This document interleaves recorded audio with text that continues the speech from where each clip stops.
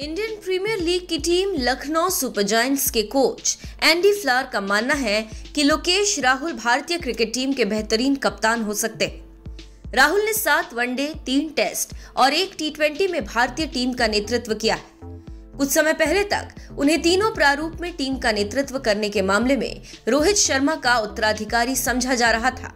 लेकिन सीमित ओवरों के क्रिकेट में पुरानी शैली की बल्लेबाजी के कारण वो भारतीय टी ट्वेंटी अंतर्राष्ट्रीय टीम से बाहर है। इसके साथ ही आईपीएल में चैंपियन बनने के बाद हार्दिक पांड्या सीमित ओवरों के प्रारूप में भारत के कप्तान बनने के सबसे मज़बूत दावेदार हैं। वो रोहित शर्मा और विराट कोहली और राहुल की गैर मौजूदगी वाली भारतीय टी ट्वेंटी टीम का पहले से ही नेतृत्व कर रहे हैं।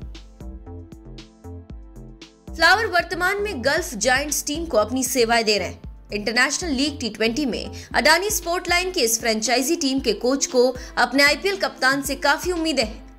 फ्लावर ने शनिवार को यहाँ कहा कि राहुल के पास शानदार बल्लेबाजी कौशल है और वो बेहतरीन तरीके से टीम का नेतृत्व कर सकते हैं। फ्लावर ने कहा के राहुल एक शानदार बल्लेबाज है। मुझे उसे बल्लेबाजी करते हुए देखना अच्छा लगता है। मैं पहली बार उससे तब मिला जब मैं इंग्लैंड लायंस को कोचिंग दे रहा था। हम त्रिवेंद्रम में भारत ए के खिलाफ खेल रहे थे। मैं उसी समय से राहुल पर नज़र रख रहा हूँ। इस पूर्व विकेट कीपर बल्लेबाज ने राहुल की कप्तानी कौशल की प्रशंसा की और कहा, वो कमाल का युवा खिलाड़ी है और वास्तव में अच्छा नेतृत्व करता भी है। वो बहुत शांत रहता है। मैं उसके साथ काम करने का लुत्फ उठाता हूँ।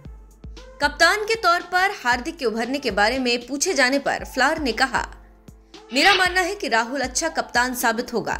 मैं दूसरे खिलाड़ियों के बारे में बहुत अच्छी तरह से नहीं जानता, इसलिए उस पर कुछ टिप्पणी नहीं करना चाहूँगा। उन्होंने राहुल को वैवाहिक जीवन की शुभकामनाएँ भी दी।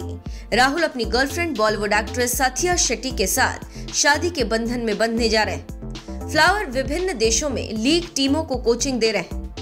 और उन्होंने कहा कि वो फ्रेंचाइजी टीमों के साथ अपनी भूमिका का लुत्फ उठा रहे बाएँ हाथ के इस पूर्व बल्लेबाज ने कहा, फ़िलहाल मैं फ्रेंचाइजी क्रिकेट के कारण साल भर काफ़ी व्यस्त रहता हूँ। मैं वास्तव में एक टीम से दूसरी टीम से जुड़ने की चुनौती का लुत्फ उठा रहा हूँ।